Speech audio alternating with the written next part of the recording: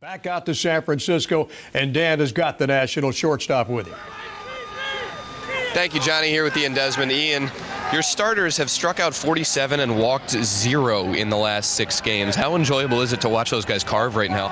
It's pretty fun to watch. Um, you know, it was good for Strass. I know he didn't have his best stuff, but you know, he grinded through it and he, he did a great job. His season overall has been pretty solid, but these last couple starts, he's really put it together nicely. What jumps out at you about him lately? It's just poise. Um, you know, he's really showing some maturity and showing that he wants to be the ace of the staff.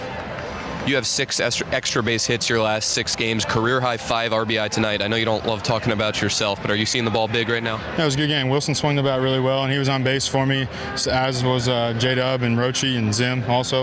Uh, it was nice for them to be out there and, and get some good pitches to hit.